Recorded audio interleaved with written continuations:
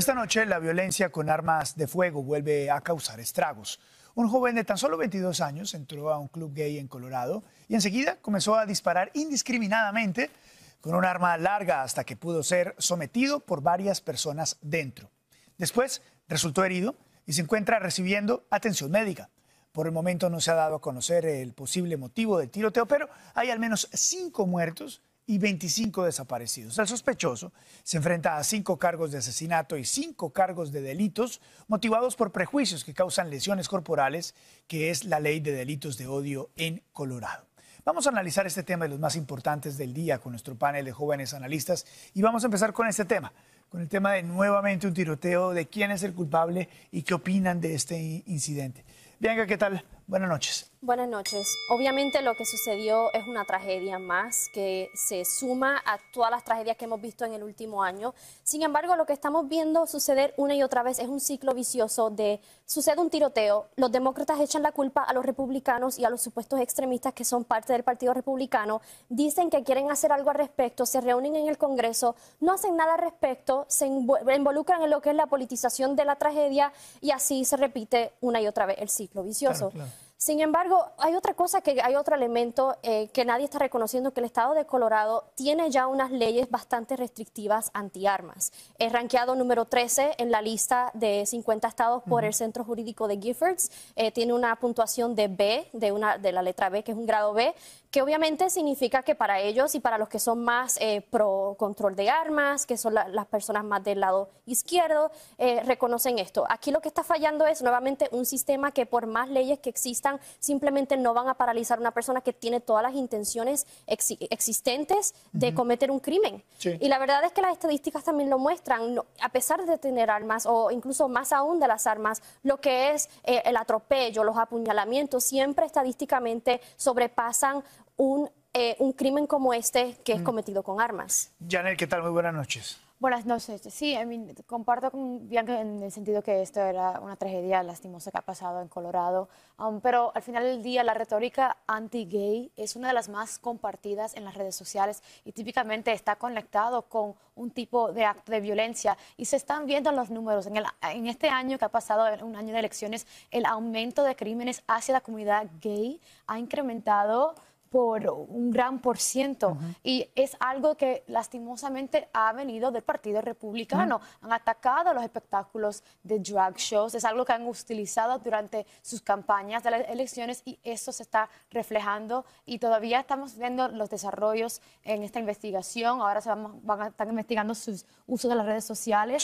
Pero eso no ayuda a la sociedad que estamos viviendo en estos momentos. Adonías, ¿qué tal? Buenas noches. Buenas noches. Yo creo que aquí fallaron muchas cosas. En algo estoy de acuerdo con Bianca, es de que Colorado es un estado que tiene, se supone, todo el tipo de leyes, ¿no? Para que esto no tenía que suceder. Aquí el problema es que las leyes caen en manos vacías si las autoridades no están implementando las leyes de las cuales se han firmado. Y creo que ahí fallaron las cosas. No es suficiente pasar leyes o decirlo, sino que se necesita que las autoridades implementen esas medidas de la manera correcta, especialmente en este caso que este tipo ya tenía algún tipo ¿no? de, experiencia o, o interactuación con la policía. Y por la otra parte, sí, creo que el mensaje político ha tenido un impacto negativo de ambos lados. Lo hemos venido hablando durante meses. Es un año de campañas. Eh, las campañas republicanas han gastado más de 50 millones de dólares en anuncios específicamente relacionados a la comunidad LGBT. Y no son anuncios que diríamos eh, tan buenos que se digan. Son anuncios en el cual utilizan ¿no? a la comunidad gay, a la comunidad trans, como para una manera de mandar su mensaje.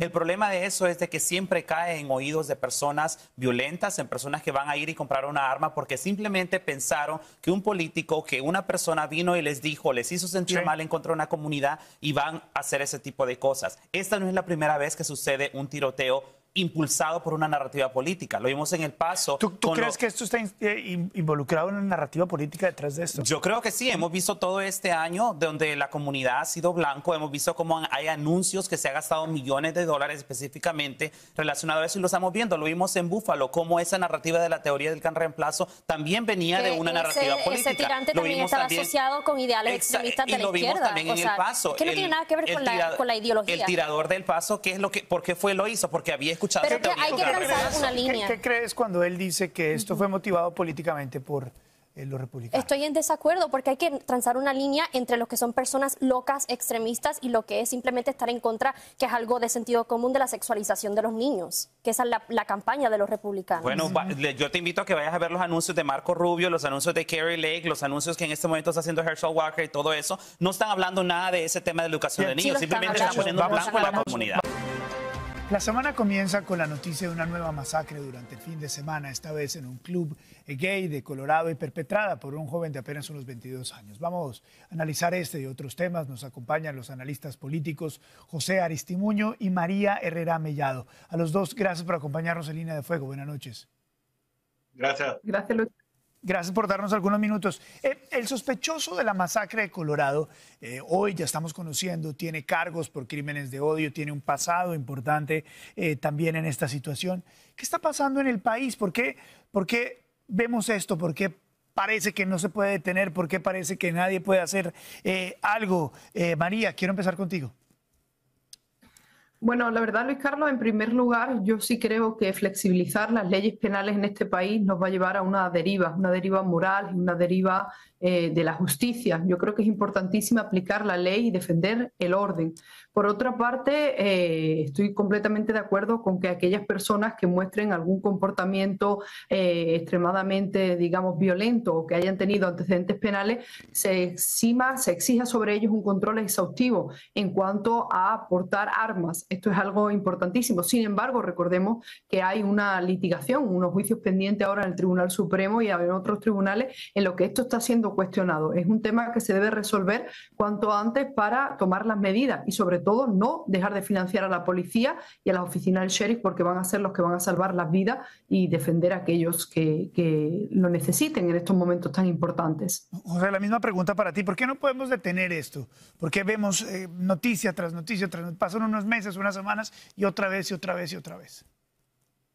Bueno, yo creo primero que nada, Luis Carlos, lamentablemente Estados Unidos cada vez más eh, la cultura eh, se ha puesto, se ha convertido en un, en un país eh, de armas. En este año ha habido más de 600 tiroteos, más de 600. Han habido más tiroteos que días en el año. Yo le pregunto al pueblo americano, ¿cuánta gente tiene que morir en los Estados Unidos hasta que nuestros políticos en Washington, republicanos y demócratas, hagan algo al respecto? Yo creo que deberíamos volver a los tiempos cuando había una prohibición sobre armas de alto asalto, como la teníamos bajo el presidente Bill Clinton, y se demostró que había menos crimen, menos tiroteos en la calle. Ojo, creo que, y estoy de acuerdo con María al 100%, que no podemos quitarle el dinero a la policía, a aquellos que están aquí para, para protegernos, pero al mismo tiempo tenemos que buscar, eh, eh, buscar la manera que armas de guerra no estén en la calle. Eh, quisiera preguntarte, María, ¿Deberíamos eliminar la segunda enmienda? ¿Eso va a parar los tiroteos masivos?